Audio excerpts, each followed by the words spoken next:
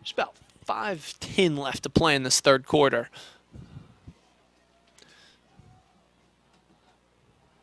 Sutton relaying a couple messages to his team. Sutton's going to keep it on a sneak, and he's in. Touchdown, Patriots. Sutton just keeps the ball from under center and just finds his way right on into that Allatoona end zone. That's going to give Heritage the lead.